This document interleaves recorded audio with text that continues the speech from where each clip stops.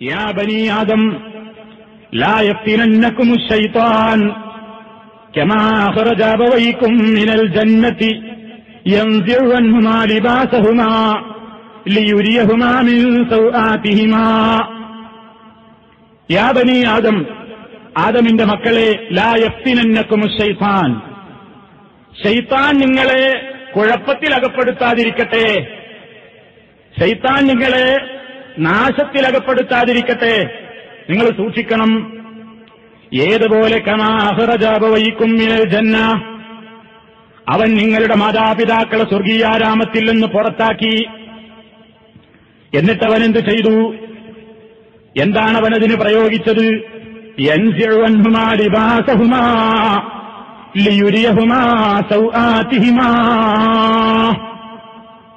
അവർ രണ്ടാളിൽ നിന്നും ഊരുന്ന നിലയ്ക്ക് മാറ്റിക്കളയുന്ന നിലയ്ക്ക് ലിബാസഹുമാ അവരുടെ രണ്ടാളുടെയും വസ്ത്രം.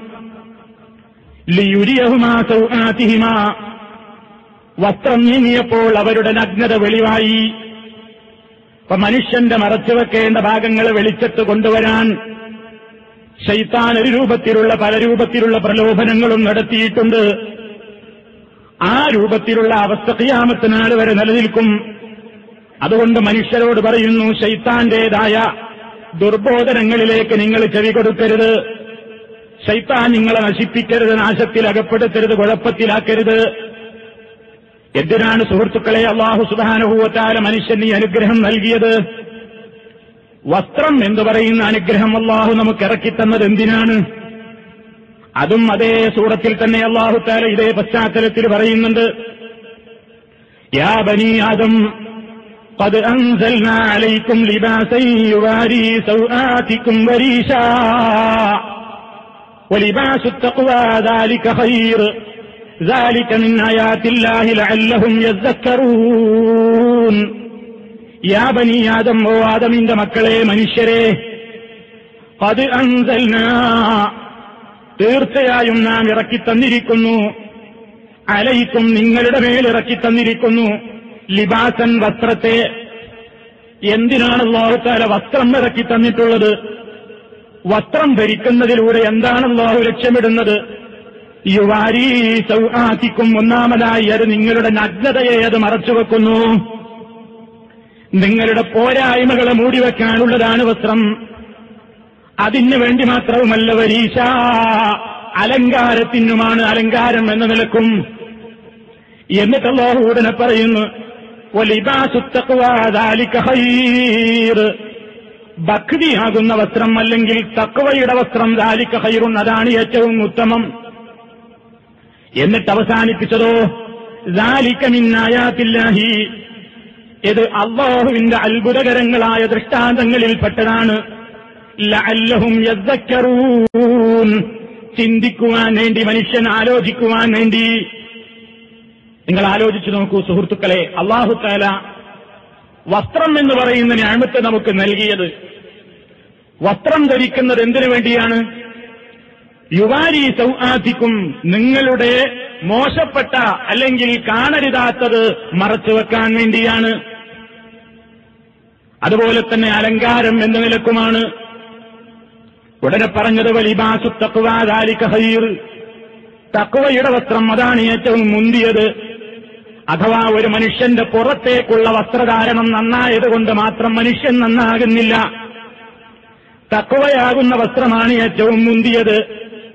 മനുഷ്യ ശരീരത്തിലെ ബാഹ്യമായ അവന്റെ ശരീരത്തിലെ ബാഹ്യമായ സ്ഥലങ്ങളിലുള്ള പുറമേ കാണുന്ന നിലക്കുള്ള പോരായ്മകളെയും കോട്ടങ്ങളെയും അതുപോലെ തന്നെയുള്ള കൃത്യമായി അവനൊരിക്കലും മറ്റൊരാളും കാണരുതെന്ന് ആശിക്കുന്ന സ്ഥലങ്ങളെയും മറച്ചുവെക്കാനുള്ളതാണ് മനുഷ്യന്റെ ശാരീരിക വസ്ത്രമെങ്കിൽ. മനുഷ്യന്റെ അകത്ത് കാണുന്ന ഒരുപാട് കോട്ടങ്ങളുണ്ട് മനുഷ്യന്റെ മനസ്സിൽ. ആ മനസ്സിൽ കുടിക്കൊള്ളുന്ന കോട്ടങ്ങളെയും പോരായ്മകളെയും ഇല്ലായ്മ ചെയ്യാനും മൂടിവെക്കാനും വേണ്ടി മനുഷ്യൻ ഒരു വസ്ത്രം ധരിക്കണം. അതാണ് തക്കവയുടെ വസ്ത്രം.